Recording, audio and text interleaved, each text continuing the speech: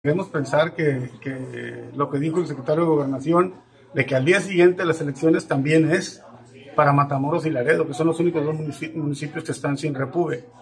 Eh, queremos pensar que es tiempo suficiente para que ellos instalen las oficinas y todo, y creemos que sí, a partir del día siguiente empiece a, fluir igual que en cualquier parte del país.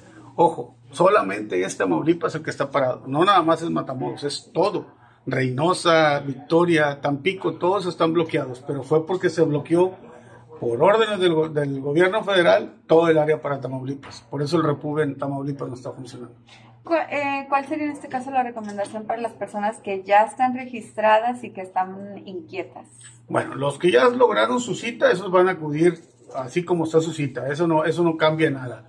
Los que están en espera de poder tramitar una cita, que tengan paciencia y que no se preocupen, se va a dar se va a dar y este y, e incluso quiero decirles una cosa, como estamos conscientes que no va a ser suficiente el tiempo, ni siquiera que hubieran los tres años para que pasen los cinco millones de autos, nosotros seguimos picando piedra. La semana que entra vamos a México a una reunión con el secretario general, con el secretario de gobernación, perdón, para solicitarle que haga, abra otro esquema, que sea más rápido, más fluido, sí, para que puedan importarse más, más autos. ¿Qué es lo que, que, que, qué es lo que yo pido?